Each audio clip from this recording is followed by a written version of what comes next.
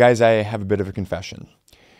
I don't watch a lot of gun stuff on YouTube or GunTube, as some of us, of course, call it. There are truthfully a small number of creators that I know and a very, very smaller number that I routinely watch. When I say this, I'm not trying to be a jerk. Maybe I am, but I'm not trying to be. I'm just trying to be honest. Mostly for me, GunTube is a place where I go to learn how to disassemble a firearm fix something that broke or maybe install a new part that I broke with occasionally catching some breaking news or some reviews or something like that.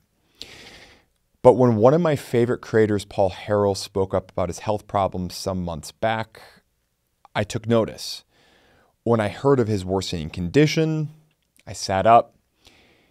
And when the news started to turn dire, well, I started speaking up about it a little bit first with a community post, and then later when there was a glitch in the matrix and someone gave me access to a microphone in front of a bunch of gun tubers at the Gundies. Just wanted to uh, give a shout out to, I know he's not here, but Paul Harrell, who is under the most somber circumstances. So thank you to Paul Harrell for everything you've given us. When I saw on social media that Administrative Results was calling for, in his words, a crusade to push Paul's channel to 1 million subscribers, it felt right. Now, let me be clear. My channel is relatively new and completely inconsequential compared to Paul's or administrative results and many other great channels out there. I don't pretend to be in a position to really offer much of any help pulling the wagon, but let's try anyway. Why should you care though? Why do I care? After all, candidly, I've never even met the guy. I've never spoken to him over the phone or even email. I think this is why. Because I've spent a lot of time trying to figure out why do I? care? I mean, it's a guy who makes videos online. You know, I, I candidly, I don't, uh, I don't spend much time thinking about when, uh, you know, an actor passes away or something like that. In a world full of histrionics, that's low on authenticity. I think Paul's shown everyone that you can be honest, forthright, and people will find you. When you click on a Paul video, you know that you're in for likely 20 plus minutes of dense information with rich content that has been very well thought out and tested likely to the detriment of probably some fruit, maybe some meat, possibly some old pieces of clothing, maybe a water jug or two. And you may be able to argue or push back on that methodology and how applicable might it be to the street. But the basic thrust of what Paul was laying out, backed by the sheer force and logic of reasoning as only Paul could explain, was irrefutable whether it's caliber choices, caliber testing, or of course a rebuttal video, it is always something you just had to watch multiple times to gain everything that you could from it.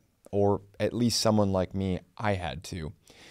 And you always walked away both more informed and frankly, sometimes just better.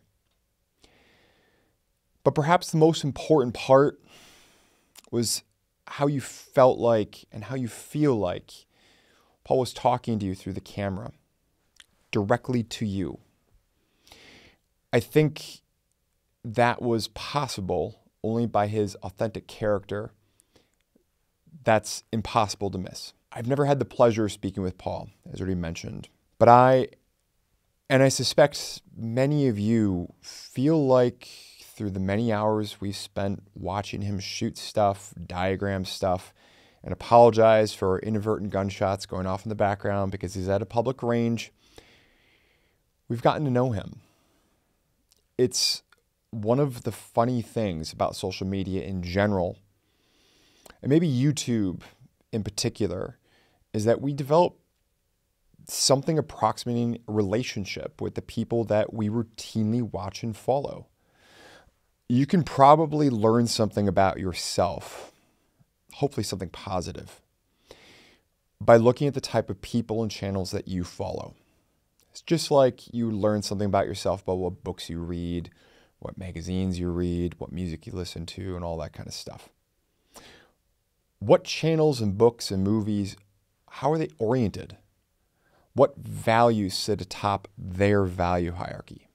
Are they oriented towards fact or fiction? Knowledge or emotion? Do they aim up or do they aim down? I'm proud to say that Paul Harrell is easily one of my longest subscribes on my personal YouTube account. I am proud of what that says about me. And I know that when I run into someone who starts talking about Paul Harrell videos or making some sort of obscure reference to them, we'll probably get along.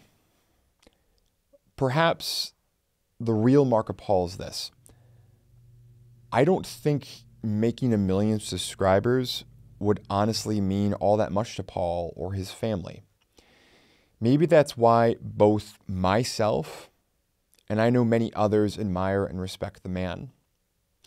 Maybe that means that at the end of the day, if you really think about it, I and perhaps subconsciously others, we're not trying to do this for Paul. Maybe the selfish parts of us, we're trying to do this for ourselves with this whole call to action. Because we're trying to point everybody to the way that we should be, both on YouTube as well as in public, and of course, our private lives. This is what we should be aligned towards. This is what we should be collectively aiming for. Folks, if you've enjoyed your time here, please consider heading over to Paul Harrell's channel and give it a watch and a subscribe. At the time of taping this video, he has about 840,000 subscribers. In his most recent upload, Paul commented that it may be the last time that we see him on camera. Okay, everyone, my apologies for sitting here like this for the conclusion portion of today's presentation. I know this looks lame, but the reality is I am lame, and this might be the last time you ever see me on camera. So, time is short. Please head over there and do it now if you can. I think that you will like what you find. While I know that many of you join me in praying for a miracle for Paul, I hope that those of you who are not yet subscribers to his channel will join me in pushing for us all to recognize the lion in our midst, a man who did it right and is an example for us all to follow. It appears that his brother Roy will be taking over his YouTube channel, at least for the foreseeable future. And of course, we wish him well and look forward to everything that he's going to be giving us in the years to come. If there's anything that I can do for Roy or Paul, I hope that they know that we're all cheering for both of them and they should never be afraid to reach out. Paul,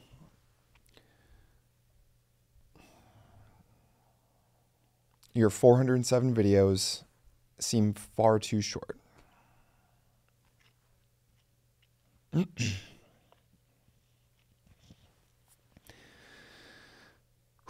You're one of the few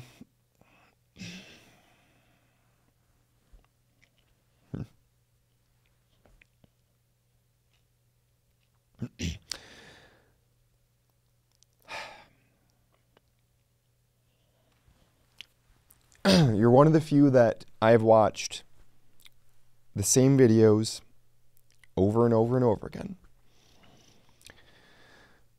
Thank you for everything that you've given us. Take care.